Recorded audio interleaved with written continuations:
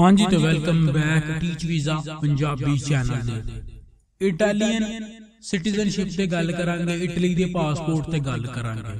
ਤੇ ਜਿੰਨੇ ਵੀ ਵੀਰ ਨੇ ਆ ਜਿਹੜੇ ਕਿ ਪਾਸਪੋਰਟ ਲੈਣ ਦੇ ਨੇੜੇ ਨੇ ਜਾਂ ਫਿਰ ਫਰਸਟ ਅਟੈਂਪਟ ਦੇ ਵਿੱਚ ਪਾਸਪੋਰਟ ਲੈਣਾ ਚਾਹੁੰਦੇ ਨੇ ਉਹਨਾਂ ਵਾਸਤੇ ਵੀਡੀਓ ਇੰਪੋਰਟੈਂਟ ਹੈ ਵੀਡੀਓ ਨੂੰ ਐਂਡ ਤੱਕ ਜ਼ਰੂਰ ਤੱਕੋ।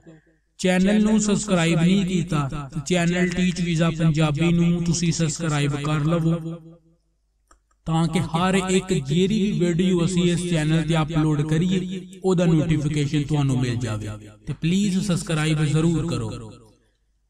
ਵੀਡੀਓ ਸਟਾਰਟ ਕਰਨ ਤੋਂ ਪਹਿਲਾਂ ਜਿੰਨੇ ਵੀ ਸਾਡੇ ਵੀਰ ਨੇ ਪਾਕਿਸਤਾਨ ਤੋਂ ਇੰਡੀਆ ਤੋਂ ਜਾਂ ਫਿਰ ਬੰਗਲਾਦੇਸ਼ ਤੋਂ ਜਿਨ੍ਹਾਂ ਇਟਲੀ ਦਾ ਸੀਜ਼ਨਲ ਜਾਂ ਨਾਨ ਸੀਜ਼ਨਲ ਨੋਲਾਉਸ ਦਾ ਵਰਕ ਪਰਮਿਟ ਅਪਲਾਈ ਕੀਤਾ ਉਹ ਲਾਸਟ ਵੀਡੀਓਜ਼ ਜਿੰਨੀਆਂ ਵੀ ਨੇ ਉਹਨਾਂ ਨੂੰ ਇੱਕ ਵਾਰ ਜ਼ਰੂਰ ਚੈੱਕ ਕਰ ਲਓ। ਇਟਲੀ ਦੀ ਹਰ ਸਿਟੀ ਤੋਂ ਨੋਲਾਉਸ ਦਾ ਦੀ ਅਪਡੇਟ ਮੈਂ ਤੁਹਾਡੇ ਨਾਲ ਸ਼ੇਅਰ ਕੀਤੀ ਹੈ ਤੁਸੀਂ ਚੈੱਕ ਜ਼ਰੂਰ ਕਰ ਲਓ।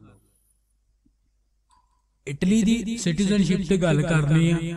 ਇਟਲੀ ਦੀ ਕੋਈ ਵੀ ਇਸ ਟਾਈਮ ਅੱਜ 15 ਦਸੰਬਰ 2022 ਹੈ। ਤੇ ਇਸ ਟਾਈਮ ਤੱਕ ਇਟਲੀ ਦੇ ਸਿਟੀਜ਼ਨ ਇਮੀਗ੍ਰੇਸ਼ਨ ਜਿਹੜੀ ਹੈ ਜਿਹੜੀ ਕਿ ਜਿਹਨੂੰ ਤੁਸੀਂ ਕਹਿ ਸਕਦੇ ਹੋ ਕਿ ਫੁੱਲ ਸਿਟੀਜ਼ਨ ਇਮੀਗ੍ਰੇਸ਼ਨ ਹਜੇ ਤੱਕ ਕੋਈ ਵੀ ਇਟਲੀ ਦੇ ਕਿਸੇ ਵੀ ਡਿਪਾਰਟਮੈਂਟ ਵੱਲੋਂ ਨਾ ਇਮੀਗ੍ਰੇਸ਼ਨ ਡਿਪਾਰਟਮੈਂਟ ਵੱਲੋਂ ਨਾ ਫਿਰ ਹੋਰ ਕਿਸੇ ਵੀ ਡਿਪਾਰਟਮੈਂਟ ਵੱਲੋਂ ਆਫੀਸ਼ੀਅਲੀ ਤੌਰ ਤੇ ਕੋਈ ਅਨਾਉਂਸਮੈਂਟ ਨਹੀਂ ਕੀਤੀ ਗਈ ਹੈ। ਇਹਦਾ ਮਤਲਬ ਇਹ ਵੇ ਕਿ ਜਿੰਨੇ ਵੀ ਬੰਦੇ ਨੇ, ਜਿਨ੍ਹਾਂ ਕੇ ਫਰਸਟ ਅਟੈਂਪਟ ਜਾਂ ਫਿਰ ਲਾਸਟ ਅਟੈਂਪਟ ਜਿਹੜੇ ਕਿ ਪਾਸਪੋਰਟ ਦੇਣ ਲਗੇ ਨੇ ਜਾਂ ਫਿਰ ਫਰਸਟ ਪਾਸਪੋਰਟ ਲੈਣ ਲਗੇ ਨੇ, ਉਹਨਾਂ ਬਾਰੇ ਅਪਡੇਟ ਕਿ ਇਹ ਜਿੰਨੀਆਂ ਵੀ ਤੁਹਾਨੂੰ ਏਜੰਟ ਦੱਸਦੇ ਨੇ, ਉਹ ਝੂਠ ਮਾਰਦੇ ਨੇ। ਪਹਿਲੇ ਨੰਬਰ ਤੇ ਤੇ ਕੋਈ ਇਮੀਗ੍ਰੇਸ਼ਨ ਓਪਨ ਨਹੀਂ ਹੋਈ, ਦੂਜੇ ਨੰਬਰ ਤੇ। ਜਿੰਨੀ ਦੇਰ ਤੱਕ ਤੁਹਾਡੇ ਹੋਮ ਐਡਰੈਸ ਤੇ ਕੋਈ ਵੀ ਕਾਰਡ ਜਾਂ ਕੋਈ ਵੀ ਪੋਸਟ ਨਹੀਂ ਆਉਂਦੀ ਉਨੀ ਦੇਰ ਤੱਕ ਤੁਸੀਂ ਜਿਹੜਾ ਨਾ ਉਹਦੇ ਤੇ ਯਕੀਨ ਨਾ ਕਰੋ।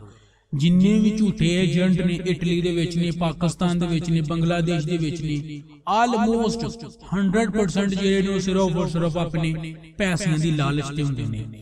ਤੇ ਮੈਂ ਫਿਰ ਅਗੇਨ ਰਿਕੁਐਸਟ ਕਰਾਂਗਾ, ਜਿੰਨਾ ਹੋ ਸਕਦਾ ਹੈ, ਉਹਨਾਂ ਤੁਸੀਂ ਜੈਨੂਇਨ ਤਰੀਕੇ ਦੇ ਨਾਲ origignal ਤਰੀਕੇ ਦੇ ਨਾਲ ਆਪਣੇ ਕਾਗਜ਼ ਪੱਤਰ ਲੈ ਕੇ ਤੇ ਜਿੰਨਾ ਹੋ ਸਕਦਾ ਲੀਗਲ ਪ੍ਰੋਸੀਜਰ ਨੂੰ ਫਾਲੋ ਕਰੋਗੇ, ਉਹਨਾਂ ਤੁਸੀਂ ਛੇਤੀ ਇਟਾਲੀਅਨ ਜਿਹੜੀ ਸਿਟੀਜ਼ਨਸ਼ਿਪ ਹੈ, ਇਟਲੀ ਦਾ ਜਿਹੜਾ ਪਾਸਪੋਰਟ ਉਹ ਲੈ ਸਕਦੇ ਹੋ।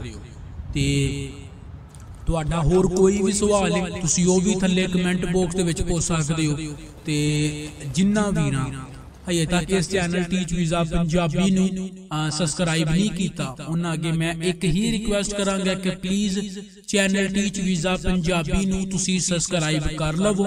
ਜੀ, ਹਜੇ ਤੱਕ ਨਹੀਂ ਕੀਤਾ, ਤੇ ਸਬਸਕ੍ਰਾਈਬ ਕਰ ਲਵੋ, ਤਾਂ ਕਿ ਹਰ ਇੱਕ ਅਪਡੇਟ ਜਿਹੜੀ ਹੈ, ਉਹ ਤੁਹਾਨੂੰ ਸਮੇਂ ਤੇ ਮਿਲਦੀ ਰਹੇ। ਮਿਲਦੇ ਆ ਤੁਹਾਨੂੰ ਨੈਕਸਟ ਵੀਡੀਓ ਤੇ। ਰੱਬ